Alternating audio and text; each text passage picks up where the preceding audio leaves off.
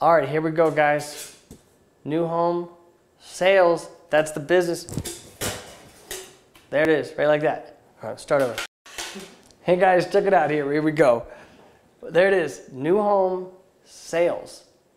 Get the license plate. Do you know that uh, nobody took new home or sales? Come on now.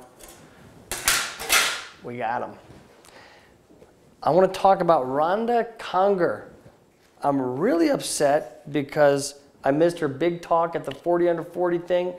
I was really bummed out, and I think she sent this to cheer me up. Come on, look at that business card. Hello, hello. She's the pro. By the way, you got to check out the interview I did with her at the Jeff Shore Summit. I'm going to post it behind. It's a great uh, video, and she talks about how many uh, events that she goes to. I think it's something like 30 a year. Super inspiring. By the way, loved the book. Already read it. One of our goals, again, is to read 50 books this year. I think this was like number 22 or 23. You go first. Ronda, great book. Got tons of notes and ideas. Um,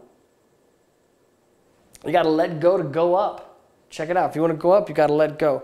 Packed with good information, straight from the heart. She hits you hard on this stuff. Love the stories. Great book. I want everybody to check it out. It's called You Go First by sales legend Ronda Conger. Make it great, guys.